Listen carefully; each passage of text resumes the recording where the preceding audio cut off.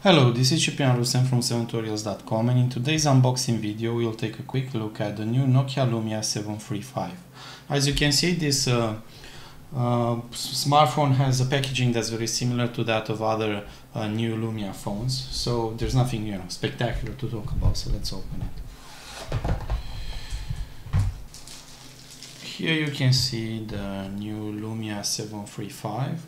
As you can see this uh, smartphone doesn't have hardware buttons on the bottom like other models do.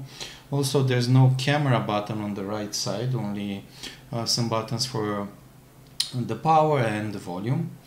Uh, the back of the smartphone looks good. Here you can see the camera and the finishing is pretty nice and feels good to hold in your hand. Um, this might look like a unibody design, but actually it's not. You can open the phone, but you have to be uh, oh, careful a bit while you pull the cover.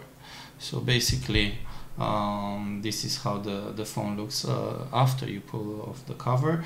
Here you have the a port for a nano SIM actually. Um, then you have a micro SD card and well, the place where you plug in the battery. So uh, moving forward, uh, you can see the battery itself, uh, which is not that interesting.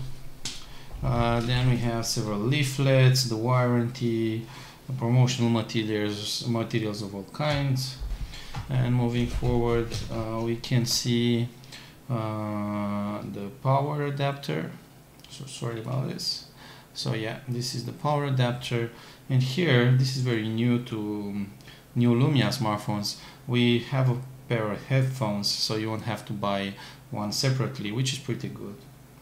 Uh, well this is all. There's nothing left so um, uh, we would like to close. Uh, this is, was the unboxing video for the Lumia 735. I'm Ciprian from 7tutorials.com and don't hesitate to read our review when it's published. Thank you very much. Goodbye.